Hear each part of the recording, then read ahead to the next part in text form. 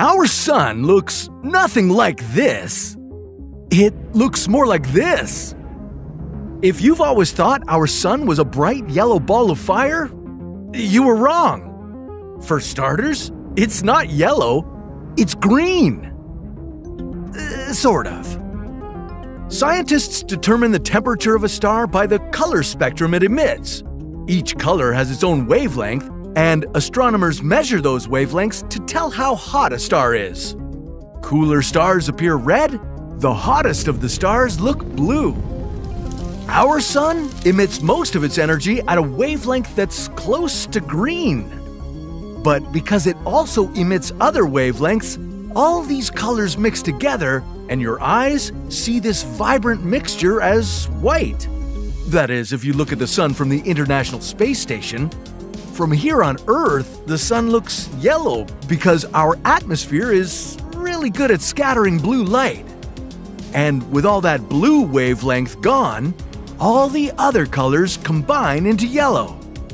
If our star was actually yellow, it would be about 800 degrees Celsius cooler our solar system's habitable zone would shrink and Earth would become a frozen, lifeless rock. But that's not the only thing you were wrong about. The sun is hot, but it's not on fire. Burning is a chemical reaction of oxygen with fuel. Like most stars out there, our sun is a ball of gas, mostly made up of hydrogen and helium it doesn't have much oxygen in it. Instead, it works more like a gigantic nuclear reactor, constantly fusing hydrogen atoms to create helium inside its core. This process releases enormous amounts of energy, and that's why the sun is so scorching hot. Speaking of setting things on fire, let me tell you about explosions in space. Yeah, these aren't real. A spaceship can't go down in a violent blast because there's no air out there in space. No air means no oxygen, and no oxygen, well, as you already know, means no fire. Sorry, Star Wars fans.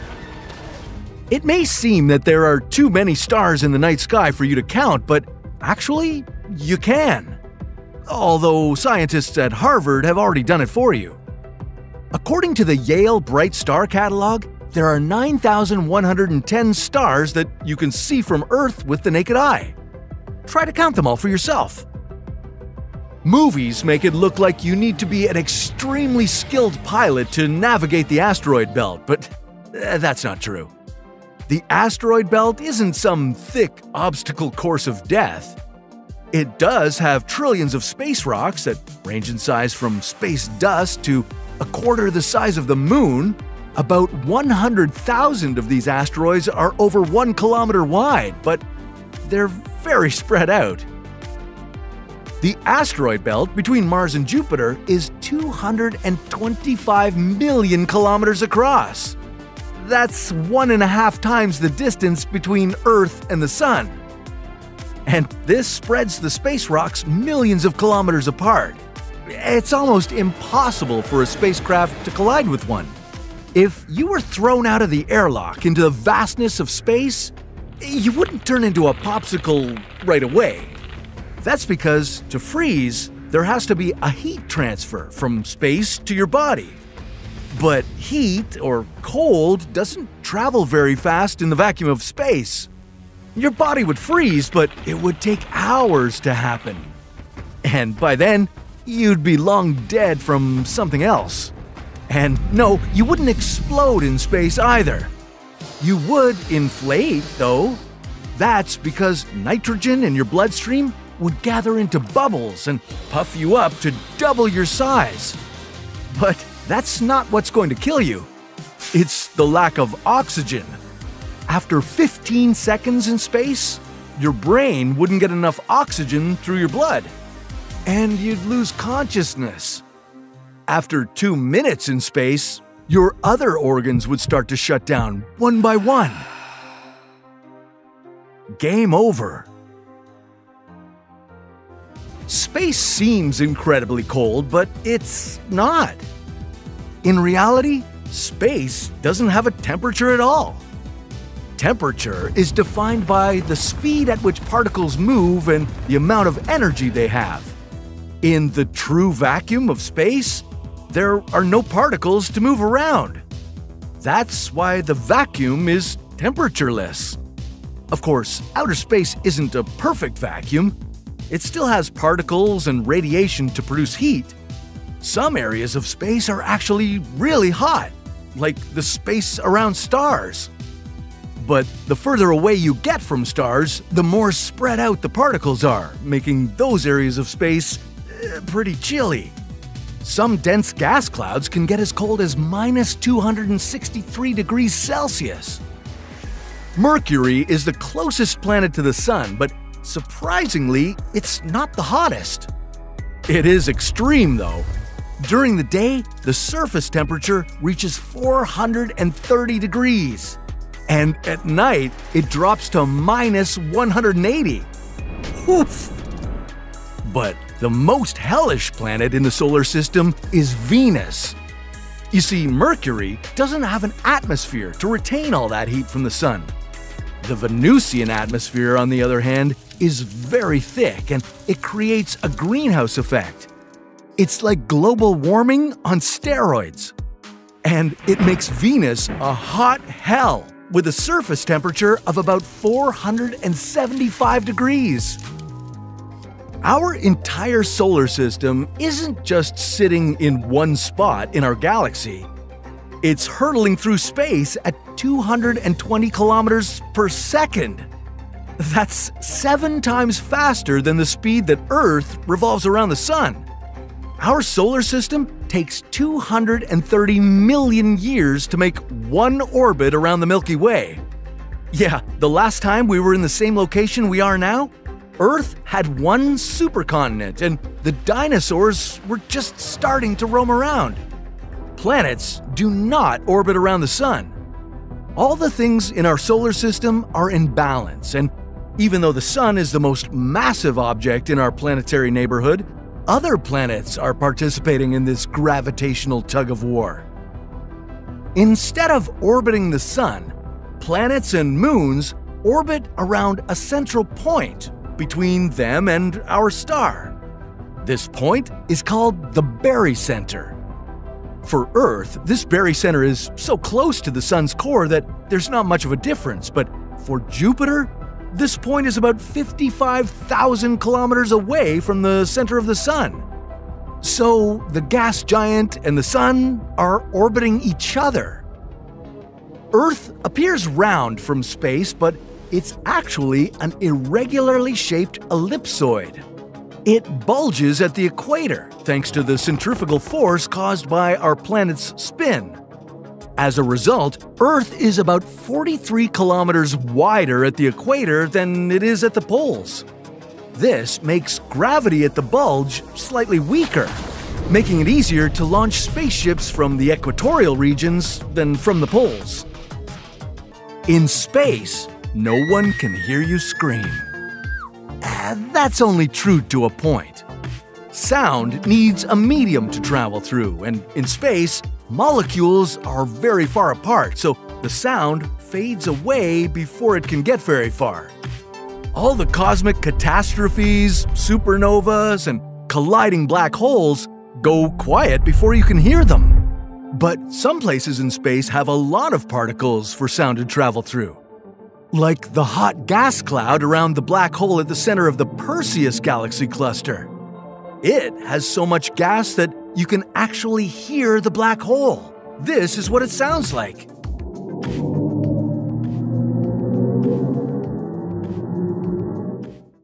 If the Earth had an edge, I hope it would look like this. The edge of a flat Earth. I know, I know, we've talked about it before, but there's something mesmerizing about it. A flat Earth solar eclipse? Diagonally growing trees? The Great Wall of Ice, guarded by NASA, of course. the Flat Earthers sure have a great imagination, but what if they were right?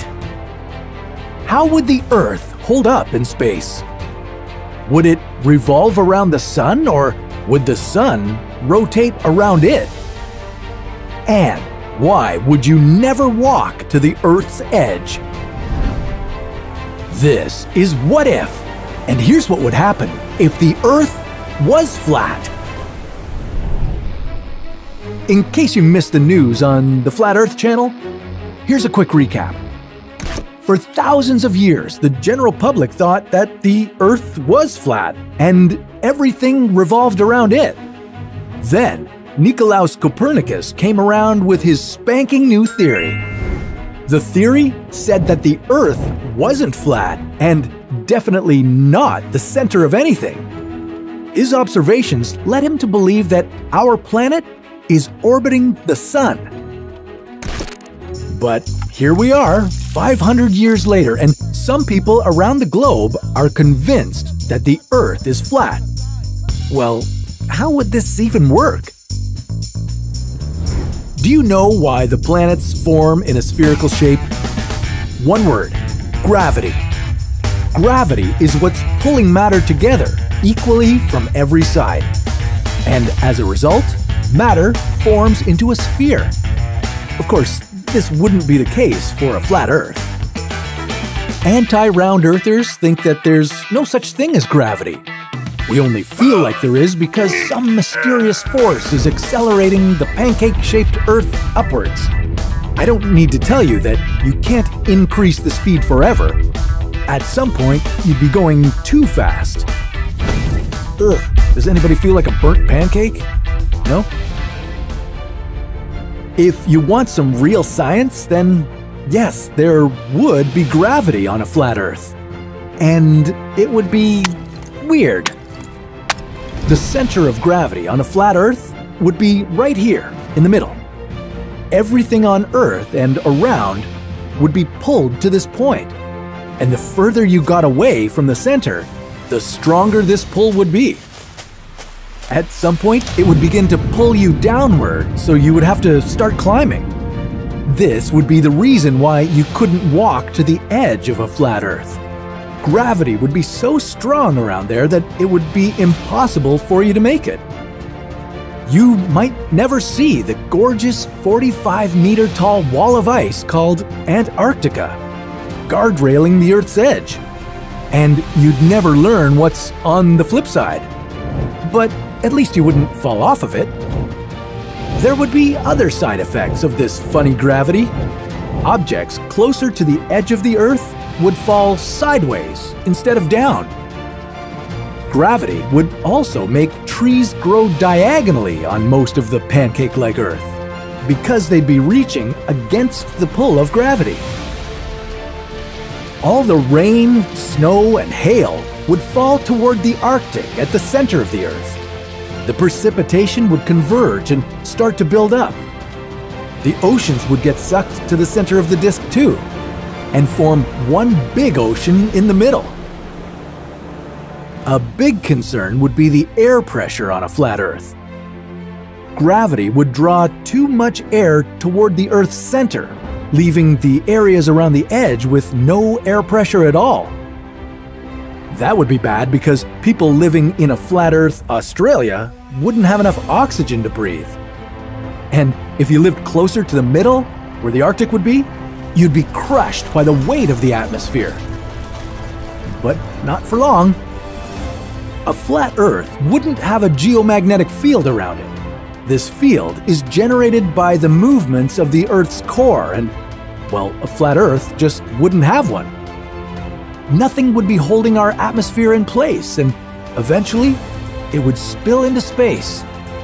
We'd be exposed to solar radiation that would cause cancer and damage our DNA. And we'd have no breathable air anywhere on the planet. So, I hope you're able to find a life support system lying around. Now, let's get to those questions we've all been waiting for. What would orbit what in this arrangement? Would there be a day and night cycle? Or time zones? Every flat earther knows that the sun goes in circles around a pancake shaped Earth, and so does the moon. They're both around 50 kilometers in diameter and act like huge spotlights. But let's bring good old science to the equation. If the sun worked as a spotlight, you'd see it from everywhere on Earth, even if it didn't shine directly on you. It would look like those alien abduction scenes. Hmm, I wonder where they got that idea from. In this system, there would be no day and night cycle. That would be pretty strange. How am I supposed to get my beauty sleep? Okay, I know how to fix this. Yeah, that's better. For a flat Earth to have days alternating with nights, the Sun would have to orbit the planet this way.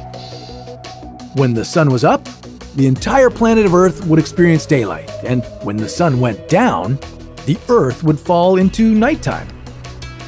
There would be no time zones and no seasons either, but you could still mess up your schedule by staying up late and watching what if videos.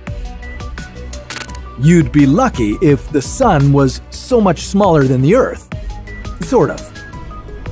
Think of this if the sun retained its gigantic form as it was orbiting a flat Earth, it would burn down the entire planet. That's because of how close it would get to us. On the other hand, if the sun were much smaller than it really is, we'd freeze to death. That's because the flat Earth would have nearly two and a half times the surface area of our round Earth. We'd be getting only one third of a regular sized sun's energy. That's not enough for life on a flat Earth to exist. And we haven't even talked about this yet the lunar eclipse. Flat Earth disciples believe in some kind of anti moon that's responsible for these. On our round Earth, lunar eclipses happen when the Earth lines up between the Sun and the Moon. If that was the case for a flat Earth, this is how those eclipses might look. And even that would require some very special alignment. So, if the flat Earth conspiracy turned out to be true, that our globe was indeed photoshopped and GPS devices were rigged for some financial gain? Well, that would open up a conversation to other conspiracy theories. Unfortunately, many people, including the flat earthers, are living in a state of cognitive dissonance. That's when their thoughts and beliefs aren't quite consistent and don't always represent reality. I mean, we are constantly exposed to pseudo evidence that can support any theory at all, even if it falls flat with a bit of logical thinking. If Copernicus had spent 10 hours on YouTube watching flat earth conspiracy videos, even he might have admitted he was wrong. When you think of ringed planets, well, you probably assume there's only one of them in our solar system Saturn. But what if I told you that there are three other planets similar to Saturn? Yeah, it's true. Jupiter, Uranus, and Neptune all have their own sets of rings. Eh, most people don't know about them because they're much thinner and pretty much invisible from Earth. We only learned about them when Voyager 1 and Voyager 2 flew past them in the 1970s and 80s. Some scientists even think that Earth had rings at some point in its existence. Four and a half billion years ago, when a planet the size of Mars smashed into our young rock, it ejected so much debris that it likely, briefly, formed a small ring around Earth. Despite their unimaginably massive gravitational pull, black holes don't go around sucking in everything in their way. It just doesn't work like that. Black holes are more like sinkholes. If you were to get too close to one, you'd get spaghettified and lost to the blackness of this monstrosity. But if you're far enough away from it, you'd be safe. Even if our sun was replaced in the middle of our solar system by a black hole with similar mass, all the planets would just orbit like nothing happened.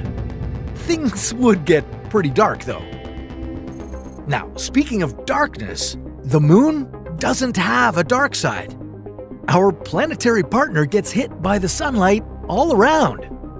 The reason why you don't see the other side of the moon is because it's always facing away from us. Yeah, our moon rotates on its axis at the same rate it orbits Earth, making it what's called tidally locked to our planet. If a large asteroid is on a deadly collision course with Earth, the best thing to do is to nuke it. Oh, sorry, wait, I've actually got that wrong. Do not nuke asteroids that are about to collide with us.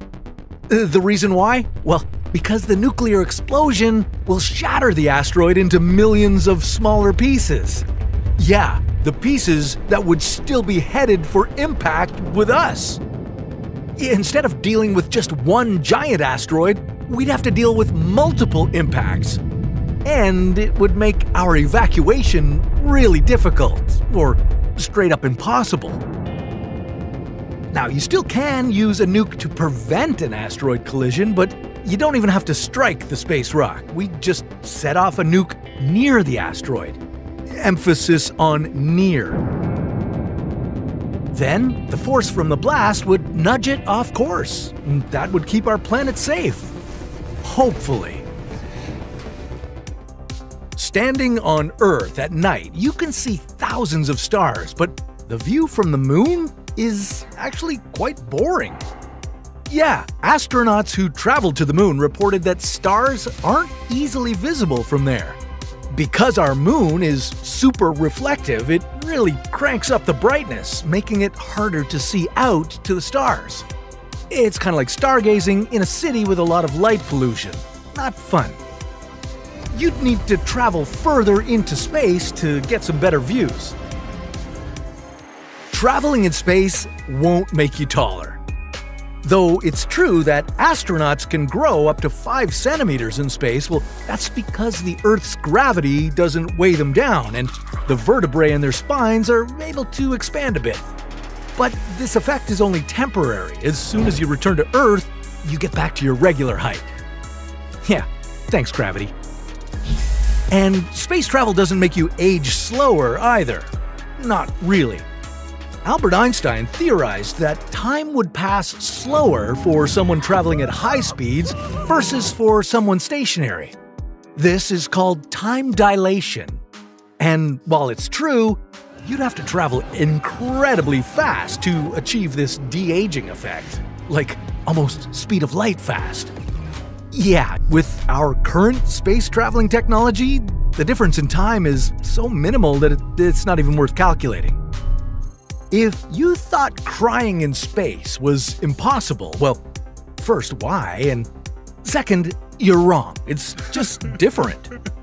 Without gravity to pull your tears down, they don't trickle down your face like they do here on Earth. The tears just stick to your eyes and form a sort of watery blob. They might even cover your eyes if you cry a lot, so while you can totally cry in space, it's probably best that you don't eh, not great for visibility. Hey, Martian dust storms are a real headache. The dust particles are so fine that they can get anywhere, and these dust storms can last for months, but they can't physically damage any equipment that we leave on the red planet. The thing is, is that the Martian atmosphere is super thin, just about 1% of the atmosphere we have on Earth, so even when these dust particles zoom around at about 100 kilometers per hour, they can't pack a big punch without the help of air. But what they can do is cover our solar panels and put our rovers into power saving hibernation. Oh, and I wouldn't inhale this dust either. Who knows what this fine powder could do to your lungs long term? Twinkle, twinkle, little star, how I wonder what you are. Up above the world so high, this song is a big fat lie. Yeah, despite the famous children's song, stars don't twinkle. The flickering is just an illusion. Their light is actually very steady. Stars appear to twinkle due to the gas molecules that make up our atmosphere. They deflect some of the light from stars, making them appear as if they're shimmering. Asteroid belts are typically depicted as minefields of floating rocks, spaceships have to weave in and out of the asteroids in a life or death situation, but in reality, our asteroid belts are nothing like what you see in the movies. Asteroids aren't that close together. In fact, they're extremely far apart. For example, in the asteroid belt between Jupiter and Mars, each of the asteroids is several million kilometers away from their nearest neighbor. And the chances of a collision are about 1 in 1 billion. So while Han, Chewie, and Leia had you on the edge of your seat in The Empire Strikes Back, asteroid fields like that are far from reality. The Great Wall of China is known to be the only man made object that's visible from space. But this is entirely false. Yeah, sure, maybe you could see it with a camera and a zoom lens, but it's almost invisible to the naked eye. At 5 to 10 meters wide, the wall is way too thin to be seen from space. However, you can still see plenty of other man made objects from space. Things like dams, bridges, and pyramids. And at night, you can see a light show from the world's big cities. Did you know that there's a mysterious area in space where astronauts are unable to communicate with home base? They're exposed to extreme levels of radiation and their spaceships start to malfunction. It's being dubbed the Bermuda Triangle of Space. This area has perplexed scientists for decades, but astronomers may have finally solved this outer space anomaly. What exactly is the Bermuda Triangle of Space anyway? Well, its official name is the South Atlantic Anomaly, or SAA for short. It's hovering above the South Atlantic, stretching from Chile to Zimbabwe, and this area has a considerably weaker magnetic field when compared to the rest of the Van Allen radiation belt. The Van Allen radiation belt is a pair of cosmic donuts surrounding Earth. This is a unique location where the radiation belt comes closest to the Earth's surface. These belts trap particles that shoot from the sun, which protects the Earth from harmful radiation. The solar radiation within the South Atlantic anomaly isn't held back to the same degree, though. But why? Well, to explain that, first let's dive into what happens if you wander into this terrifying part of our solar system. The SAA is known for causing electronic malfunctions in spaceships and extreme radiation exposure for astronauts. It can completely destroy spacecraft. In 2016, the Japanese satellite Hitomi came crashing down to Earth after satellite operators began getting mixed signals from the ship. It was reporting inaccurate data about how it was performing up in space, making people down on Earth think that everything was fine, but this was happening as it traveled through the SAA, so operators weren't aware that there was a problem and couldn't take steps to correct it. The Hubble telescope, luckily, has managed to avoid any issues while traveling through the SAA. That's despite spending a whopping 15% of its time in the space anomaly. To protect the telescope, satellite operators power it down. If they didn't, the SAA could corrupt any precious data that's being collected and potentially crash. But how do astronauts deal with these heavy levels of radiation? Well, their radiation levels are constantly being monitored, so if they do end up in the anomaly, they have what's known as a water wall. Certain rooms on ships are filled with these massive bags of water, and if you stand behind them, they'll protect you from radiation. Water is the best thing to shield you from this harmful energy because of its high hydrogen content. Now, if they didn't have this water wall, they could get severe radiation poisoning or even cancer. So we know the radiation levels are much higher and more dangerous in this specific part of space, but why is it happening in the first place? Well, despite what pictures might show you, Earth isn't completely round. It bulges around the center, like me. And because of this, the Earth's physical center and its magnetic center are slightly off by about 500 kilometers. This offset means things like cosmic rays can get closer to the Earth's surface near the bulging area. Luckily, the Earth's magnetic bubble can still keep all those dangerous rays from getting to us, but that's not the case for people in space above the South Atlantic. Because of this, stronger radiation levels can reach this point up in space, and what's even more concerning, Due to the fact that the magnetic poles here on Earth are constantly changing, the South Atlantic anomaly keeps growing. It's also gotten weaker by 15%, meaning the radiation has gotten stronger in the area. So, NASA has been carefully monitoring the SAA since 2019. They've noticed that the anomaly is moving west. And what's even weirder, the anomaly is also splitting in two. If this continues, it could make things even more complicated regarding space travel and data collection. But luckily, for it to change significantly would take millions, if not billions, of years. So, this Bermuda Triangle of space isn't as mysterious as it sounds, and astronomers are getting better at handling it with every new ship launch and every piece of data recorded. No, that's not Photoshop. That's an actual video from the International Space Station of the moon looking uh, a bit squished. Wow. So, what happened here? Is the cover up behind a flat moon an elaborate government conspiracy? How would this affect the oceans? What would happen to our climate? And could the moon fly out into space? This is What If, and here's what would happen if the moon was flat. In 2010, an astronaut on the International Space Station observed a bizarre phenomenon. When he glanced out the window, he saw the moon looked flattened when it appeared in the thickest part of the Earth's atmosphere. And those of you in the Flat Earth Society, don't at me, it's not flat. High above the planet, the air bends light to give the moon this squished look in these very specific conditions. But if the moon were flat, it would explain why we never see the mysterious dark side. And if this was our reality, how would this affect gravity on Earth? Okay, there are no illusions this time. The moon is flat, so, how would that happen?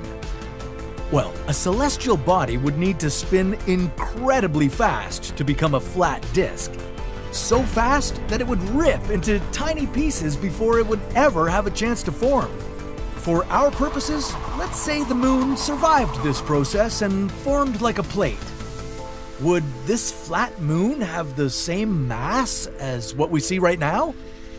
Well, as a flat disk, the moon could have 25% of the thickness, but the width might remain the same. With so much less mass floating above the Earth, the change in ocean tides could be the first noticeable effect. The moon's gravitational pull generates these tides. Our moon pulls the water on the side of the Earth that's closest to it, but this flat moon would have less mass and less gravitational effect on our planet. And the altered tides would affect more than just surfers. Ocean tides stir up material below the water's surface, allowing coastal ecosystems to thrive. Without the usual strong waves, animal life in the oceans, like crabs, mussels, and snails, could die off in mass numbers. This chain reaction could decimate life worldwide.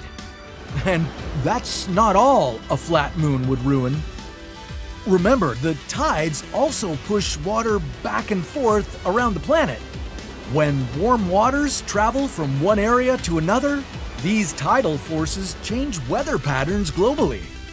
Without the strong tides, we could experience extreme temperature changes.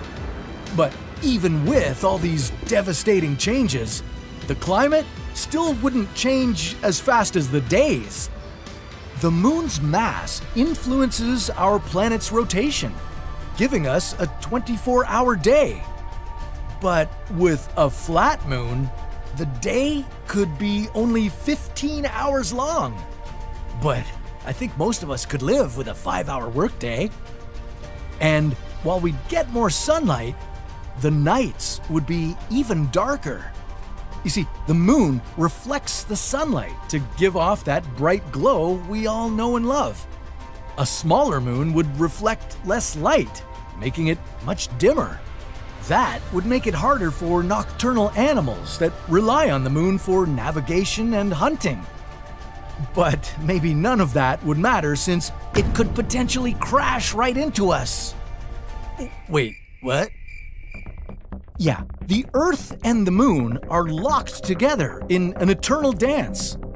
The motion created by one affects the other. I know, this sounds hippy dippy, but trust me, we're talking science here. The same tidal forces that move the oceans also affect the moon's orbit.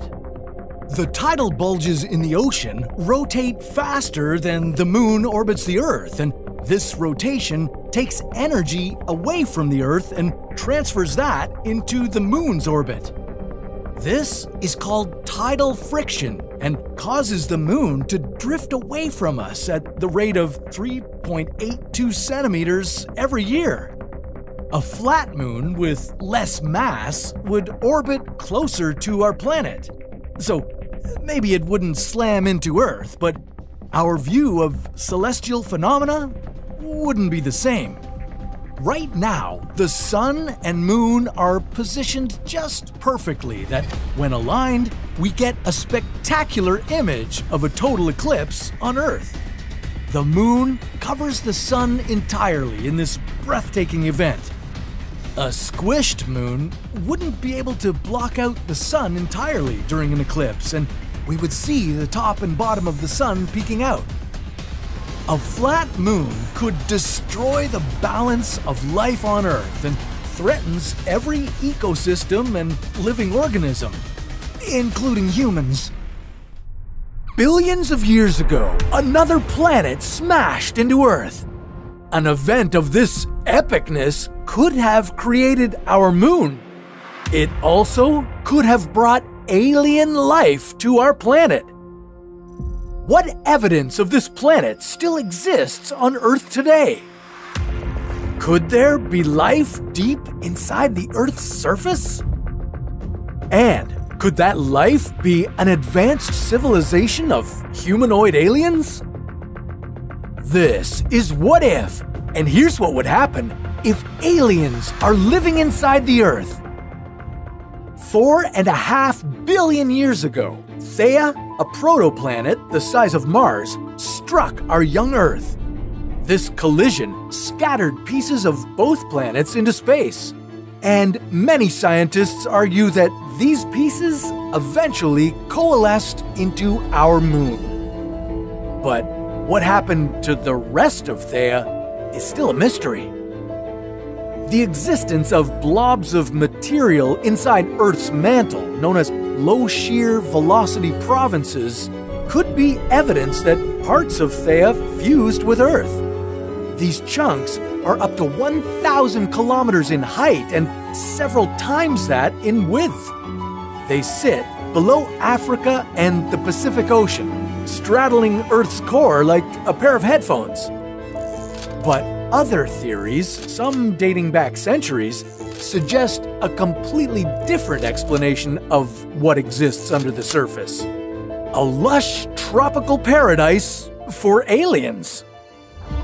The Earth consists of four layers the crust, the mantle, and the outer and inner core. But there hasn't been any successful exploration below the crust, so there's much we don't know about the realities below the surface. This has led to spectacular speculation like the hollow Earth theory. According to this theory, our planet could be a series of nested spheres centered around a central core. In between these shells, atmospheres could exist that are capable of supporting life. In the 17th century, Edmund Halley, the scientist who discovered Halley's Comet, backed this theory. Many others have added to it, suggesting a small sun could be hanging in the center of the Earth, and plants, animals, and humans could be living there. And not just humans, but a race of superhumans. Immortals who possess sophisticated technology to build hundreds of subterranean cities. But if there were aliens inside the Earth, what would the conditions for life be? Could the inside of our planet be a luscious paradise? Or a hot, hellish dump? If you were to visit one of the low shear velocity provinces, you'd have to go 2,900 kilometers below the surface. Here, you'd be surrounded by magma or liquid rock with temperatures as high as 3,700 degrees Celsius.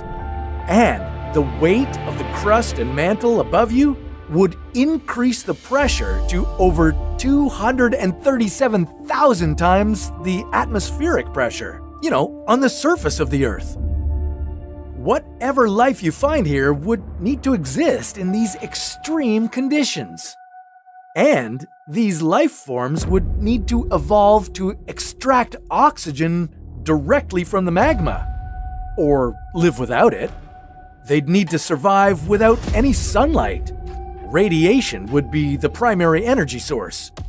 And lucky for them, the radioactive decay of uranium, thorium, and potassium in the Earth's crust and mantle already account for the primary source of heat in the Earth's interior.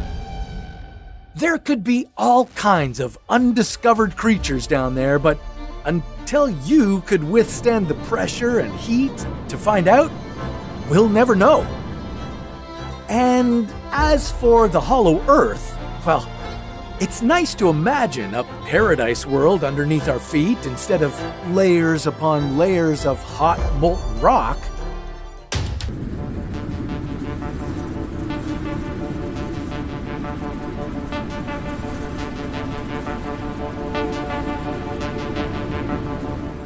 Just north of the Martian equator lies a 45 kilometer wide impact crater that scientists believe may have been the site of an ancient lake. Here at Jezero Crater, scientists theorize that its frozen soil may contain the most significant discovery of humankind life. On February 18th, 2021, NASA's Perseverance rover started searching this crater to find out if we're truly alone. What is the likelihood of life on Mars? What would these Martians look like? And how will we send samples back to Earth? This is What If, and here's what would happen if we discovered life on Mars. As Scientific American puts it, it would take a near miracle for Mars to be sterile. Astrobiologist Chris McKay at NASA believes that Earth and Mars have been sharing materials for billions of years. Kind of like using your roommate's spice rack. What? I thought you said it was communal. Comets or large meteorites that have hit Earth may have also sent debris onto Mars a tiny fraction of this debris on Mars could have carried the same microbes that kick-started life as we know it on Earth. But what would this alien life look like? Many scientists agree that whatever life on Mars we might find would need to be incredibly robust. With the combination of radiation and freezing temperatures on Mars, could any life form survive such a harsh environment? As far fetched as it sounds, microbiologists have discovered many organisms that thrive in extreme environments. The tardigrade, or water bear, is a highly resistant extremophile. It can withstand heat, cold, pressure, radiation, and even a complete lack of oxygen. There are also certain types of bacteria on Earth that rapidly produce spores when faced with hazardous conditions. The bacteria can then hibernate during an extended period of drought and withstand intense ionizing radiation. A team of 1,000 geologists, chemists, physicists, and biologists worldwide have drilled 4.8 kilometers into the Earth and discovered robust life forms. Mars has a similar geological past to Earth, so looking underground could be a great place to start. By drilling into the Jezero crater, we could encounter spores associated with a relatively recent geological era. And on future missions to Mars, we may dig deeper and uncover fully vegetative microbes. To find rock samples that might support life, NASA's Perseverance rover uses an array of lasers called a supercam. It can study the surface of Mars at a distance. One of the lasers will heat a rock sample and vaporize it. This creates a plasma that can be analyzed to understand its elemental composition. Another laser will reveal which compounds are in the dirt. If the supercam detects organic molecules or elevated concentrations of elements like nitrogen or phosphorus, the rover will head over to take a closer look. It will then scan the soil in greater detail to detect any organic material hiding in the dirt. NASA's team on Earth has only one shot at picking the right spot to gather these samples with limited space on board the rover, only a few dozen samples can be collected. So, no pressure and fingers crossed. If all goes well, NASA plans to bring back samples known for preserving biosignatures on Earth. Biosignatures are faint molecular traces left behind by microbes billions of years ago. Once the samples are collected, NASA and the European Space Agency plan two missions to get them back to Earth. This involves blasting tubes of rock and soil samples into orbit to be collected by another spacecraft and then returned to Earth. Whoa, this looks kind of fun. If Perseverance's mission is successful, the discovery of life on Mars would be as groundbreaking as the discovery of DNA. In 1543, Copernicus boldly shook the status quo with his theory that the planets orbited the Sun. His discoveries completely changed our worldview, no longer putting Earth at the center of the universe. Discovering life beyond Earth could be just as powerful. But not finding any life could raise more questions. Is the Earth truly special? Are we alone out here?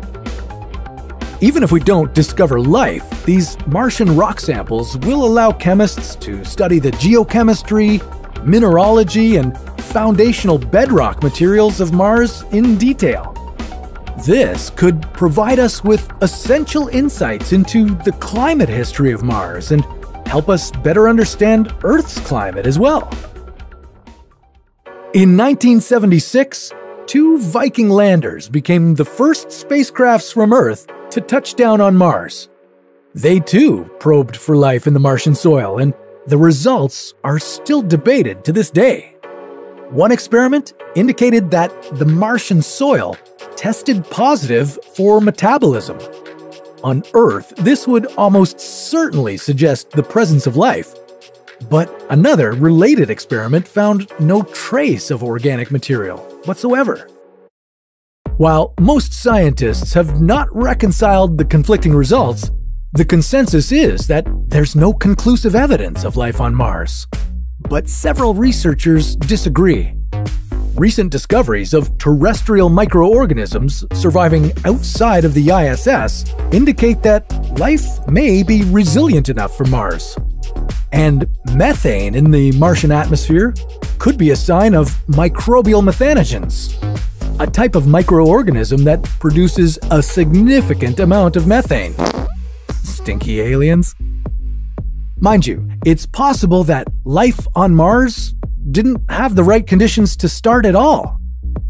Or maybe it died off from an extinction event, similar to the asteroid that wiped out the dinosaurs.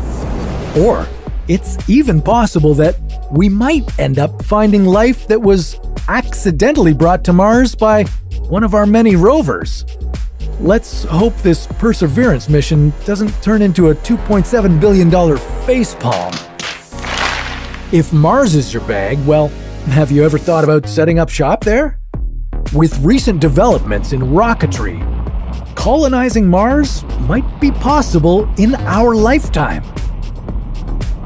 you better strap in because that's a story for another What If.